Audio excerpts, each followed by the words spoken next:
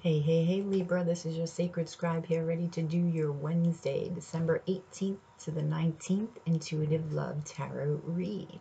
This is for Libra, Sun, Moon, Rising, Venus, Jupiter, and North Node. This will not resonate with everybody, but hopefully it will with you today. Feel free to switch up the roles as you feel suited to.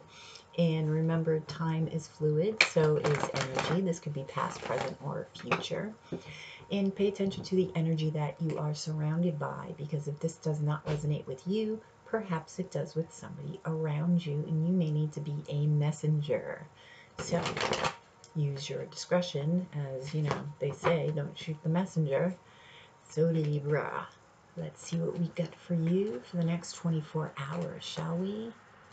Please drop a like below, share, and subscribe if you already haven't. I do appreciate it. And thank you for all of your like, shares, and subscriptions, as well as comments. see what's going on. We have the Tower Libra. We have the Queen of Swords. That's you. And the Wheel of Fortune. See now, there's always a blessing in towers. That's why I love them so much. As, as traumatic sometimes as they can be. Now, sometimes this can be a surprise, but let's see what the angels have to say.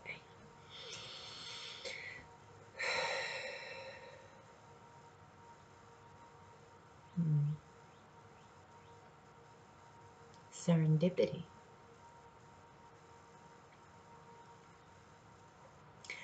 Serendipitous moments always take you by surprise. And you want to, oh, this is interesting. It's like when these moments happen, you want to try to use your logic to explain them, and you can't. It's fair to say. You can't. That's the Queen of Swords here. They're saying don't try because it's not going to make sense. There's no explaining serendipitous moments away. This is destiny. Serendipitous moments are there for a purpose. The Wheel of Fortune talks about beginnings and endings, something ending so something new can begin. Jupiter also is the ruler of the Wheel of Fortune here, and that is the planet of luck and expansion. In these serendipitous moments, i.e., this surprise tower moment um, that takes you by surprise, forget about trying to use logic. Just be in the moment with this serendipitous moment whether it's a moment that just involves yourself in, you know happenings around you or whether this is a moment that you share with somebody else let's look a little bit further. That's interesting. Okay tell me more about this um no i'm going to start with this serendipitous i want to know what it is. Tell me about this serendipitous moment. Oh the emperor. This is the Aries Taurus card for me as a reader. More Aries than Taurus for me. Now, the Emperor talks about foundation. This is somebody who's very confident. This is somebody who's a great leader who knows the direction they want to go in and gets what they want. They go after what they want. They have blinders on, go after what they want. They don't give a shit about what everybody else thinks. They just do. And they usually get what they want because of this confidence, because of this leadership. They are leaders, not followers. And I'm feeling this is who this serendipitous moment is going to be with this emperor.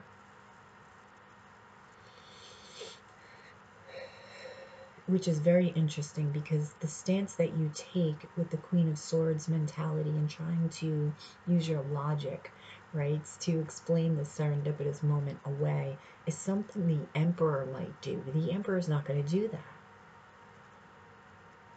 The emperor is going to be very accepting of this moment. Well, see, now that's the wisdom of the emperor. That's what comes with the emperor. An emperor who's, who is well balanced anyway, right? Tell me more about this emperor. Now, just because it's an emperor and it's male energy, remember that this is not indicative of gender. We all uh, contain male and female energy within. It's just the expression of it. So tell me about this emperor. Tell me about this emperor. Tell me a little bit more about this emperor. Ooh, the devil card. This is the card of Capricorn. They could have Capricorn in their charts but there is going to be a strong, strong attraction to this emperor, a strong se sexual attraction. Be careful with this energy, as with the devil energy, mm, it can it can draw you in, okay. And if you take this devil energy too deep, okay, you're gonna hit mud. It's like if you keep digging a hole, all right, you're eventually gonna hit water and that becomes mud. But yet, if you dig a little hole and you want to keep cool, it'll do exactly what you want it to do. It will provide you with that coolness, right? So it's like everything in modicum, in balance. Like this energy, uh, the sexual energy, great for the bedroom because it's passionate, it's intense but careful not to take it too far. This talks about codependency, toxic relationships, which I'm feeling the Emperor would not let you go there anyway. Because the Emperor knows health, they're saying. Like, the, I, the health in a relationship is important to the Emperor. Because the Emperor needs to function and needs to, you know, it's a businessman right? Could be a father as well. But it's a businessman who needs to function on all levels and needs to be well balanced. In a toxic relationship is not going to maintain that balance. The emperor knows this. So I feel that this emperor won't allow you to go there with this energy. Tell me more about this uh, devil card. Tell me more about this devil card.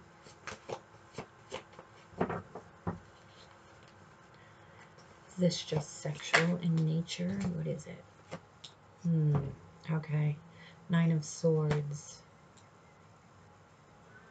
Anxiety and fear. Okay, this attraction may scare you, Libra. This attraction to this Emperor just may scare you and give you anxiety and fear because it's very strong and intense. The devil energy is extremely intense. Extremely. Especially if you've never experienced that type, that level of attraction, it may take you off guard and, you know, and for a Libra to be, it may throw you off balance. And for Libras to be thrown off balance, it's not a happy Libra, right? Okay, so tell me how is Libra going to react with this serendipitous moment with this Emperor? Huh? This is the wish card. This is the card of Aquarius, the star card. This is your dream and your wish. This is why you're going to try to logic this away. It's like, oh my God, like I've wished for this. Maybe this serendipitous moment is something that you actually imagined a long time ago uh, you know, dreamt about. You know how we dream of scenarios sometimes, and maybe this moment actually happens, and you're like, holy fuck, this is actually a dream and a desire that's like right in front of me. There has to be um, a logical explanation. This is you. This is Libra trying to explain this away. But don't because you manifested it. That's what it is. I feel like you healed from something in the past, and by healing the past wounds, you let go of energy that no longer served you, and you allowed this energy to exist and manifest. And this is why this is happening. So don't look a gift horse in the mouth, Libra. Go with it. Yeah, see? Magician. Told you manifesting. You manifested this. The magician is the card of Gemini, and this is the card of having everything in front of you and around you to manifest whatever you want. Okay, any advice for Libra when they come across this moment? Any advice for Libra when they come across this moment? Ten of Swords. Let go. Let go.